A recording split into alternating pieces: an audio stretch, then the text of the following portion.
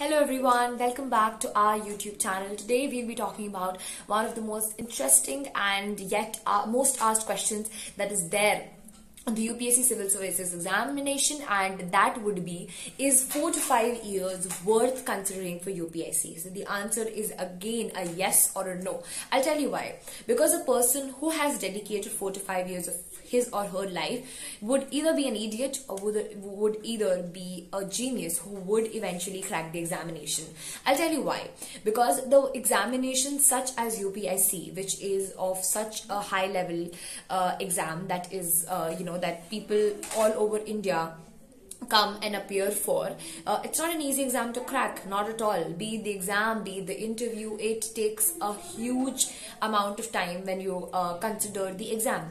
So what do you do? Uh, so what do you do basically is that uh, you either just you know dive right into it or either just take slow steps. So I would be advising you that you have to look out for yourself. If you truly believe in yourself that your preparation is good enough and you'll crack the next year, then I think four to five years is worth it. Of course, if I talk about five years, it's a very very great deal, uh, you know, of time. Okay, we are not just not joking out here but um, I personally feel that it's more like you know uh, the kind of fields that you have, the kind of job profile that you would have uh, will be very very different in the future.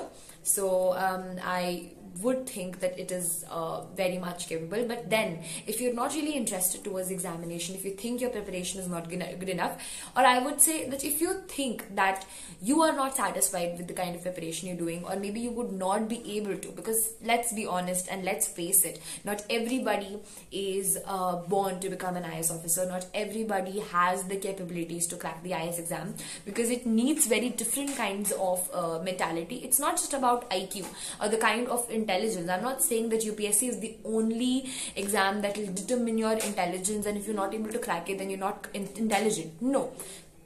There's a difference between intelligent and also being able to crack it okay? You might be the most intelligent person in the world and still not be able to crack upsc that is a possibility and that can happen.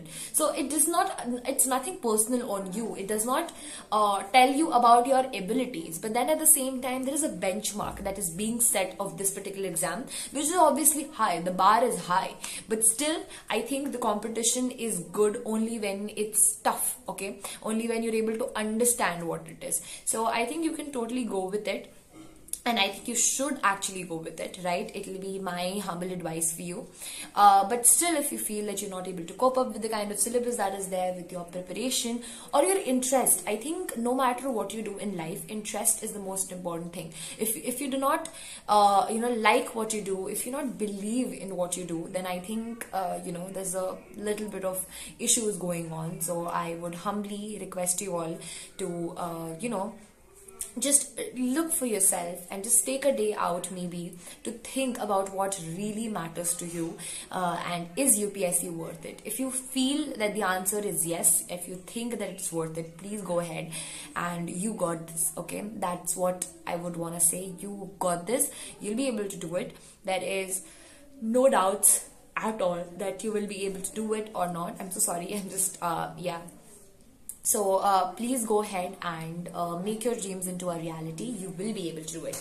But then again, as I said, it's not a parameter for your intelligence. So if you're not really able to crack it, it does not mean anything that is wrong with you. But maybe there is some preparation uh, loophole or maybe there's some interest issues because most of the times people just see the benefits. Most of the times people just look at the bright side. They do not understand the kind of efforts and the kind of preparation and struggles that an UPSC aspirant has to go through and just quickly, you know, feels that, okay, if I become an IAS officer, I'll have these benefits, I'll have this pride and prestige, but they do not really acknowledge this. So I think this is something very, very important to be acknowledged by, and I know you guys will be able to do it. So with this, as I always say, a huge all the best to all the aspirants out there. Uh, please have faith in yourself, believe in the beauty of your dreams, as Walt Disney said, and do or die, as Mahatma Gandhi said. Uh, this is the moment, this is the time that you have in your make use of it to the best potential and then yeah you got this um, other than that, uh, stay tuned for our channel for more such educational content. We'll be updating good content almost every single day. So please have a look at it, understand, acknowledge, learn, and grow. Thank you.